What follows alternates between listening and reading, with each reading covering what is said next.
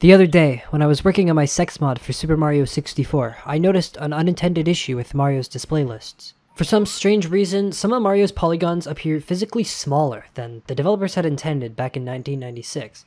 This isn't the first time I've fixed an issue regarding Mario's model, so today I'd like to cover the three main issues I have with his original geo layout. Number 1. Lights. As some of you may already know, Mario's model doesn't use solid textures for most of its limbs. It shades these polygons with a solid color and shading value. I talked to another developer in the community named Isaac Newton who told me that light is actually electromagnetic radiation within the portion of the electromagnetic spectrum that is perceived by the human eye. Now, I want to make one thing clear. The original developers couldn't possibly have known about this concept back in 1996. I did them a favor by removing some of these lights, therefore optimizing the game's code substantially. Number 2. With some basic math and FAST64 knowledge, I was able to improve some of Mario's limbs while also saving polygons in the process. As you can see here, the model's overall poly count is significantly less, and we have saved about 12 bytes of storage from the ROM. Here's a comparison between the old model and the new model.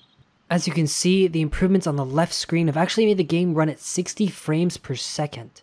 Number 3. The render engine. After some further an analysis, I wasn't sure about releasing this just yet.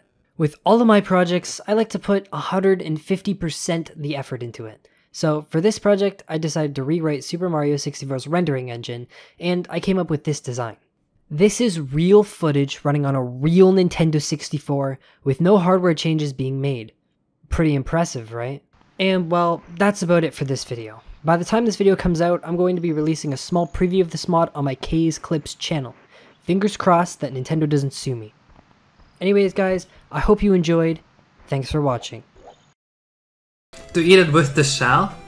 Am I supposed to eat it with the shell? Like, Why would you do this?